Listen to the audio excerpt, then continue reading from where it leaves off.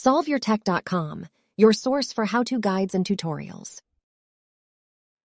This video from SolveYourTech.com will show you how to change the default browser on an iPhone 13. When you tap a link in an app, text message, or email, then your iPhone will probably open it in the Safari web browser.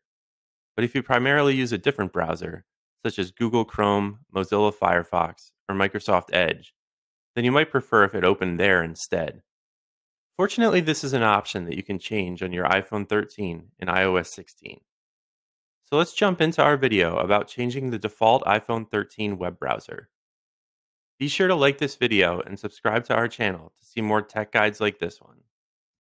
If you want to change the default web browser on your iPhone 13, then you'll need to have that web browser that you want to use installed already. If you haven't already installed the browser, then you can go into the App Store, search for it, then download and install it.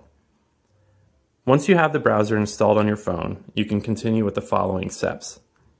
Start by opening the Settings app.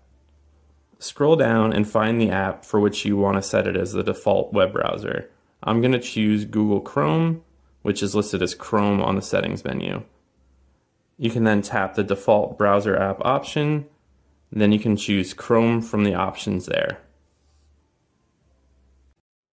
Make sure to like this video and subscribe to our channel to see more tech guides like this one. For additional information on this topic and to read the entire article, click the link in the description to visit solveyourtech.com.